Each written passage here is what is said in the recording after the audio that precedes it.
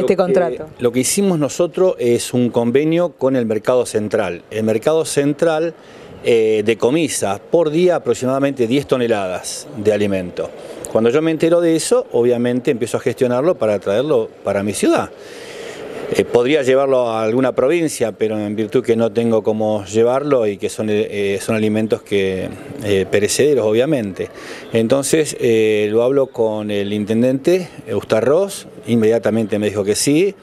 Obviamente él se acordó, se vienen tiempos difíciles, abril, mayo van a ser meses difíciles y este alimento nos viene bien, así que él pone el transporte, él pone el personal para cargar en el mercado central y obviamente una vez que llega a Mercedes esa mercadería, llega al Instituto Unzué donde lo recibe la señora Jorgelina Silva y ella con su personal clasifica y entrega a colegios, comedores y obviamente familias necesitadas. ¿Se sabe qué tipo de alimentos son los que eh, perdón, decomisan. además verduras o también otro tipo de productos?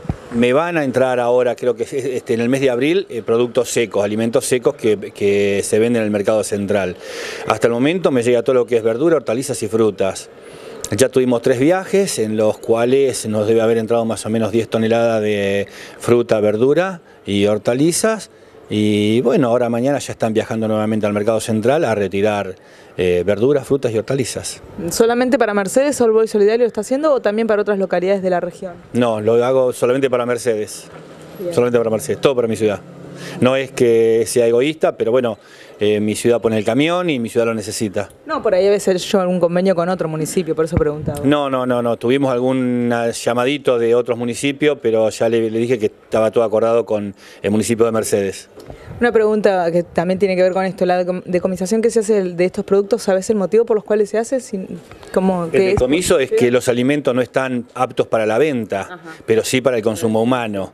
Entonces por eso vos podés encontrar un cajón de manzana con dos o tres manzanas golpeadas, eso no va para la venta, pero se saca el, cajón directamente.